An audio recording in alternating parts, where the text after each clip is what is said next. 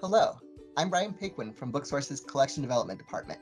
I would like to introduce you to Castaway, Poems for Our Time by Naomi Shihab Nye. Castaway is a collection of more than 80 poems on the things we cast away, covering such topics as trash, environment, refugee children, immigration, and the planet.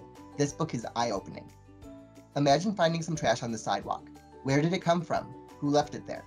In some poems, Naomi Shihab Nye not only describes items that are left behind, but also imagines a backstory of how that item got there.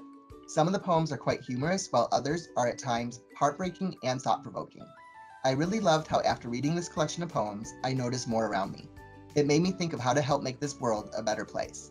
This is a welcome collection of poems to add to the classroom. Also included in the back of the book are ideas for writing prompts and how you too can help to clean up the world.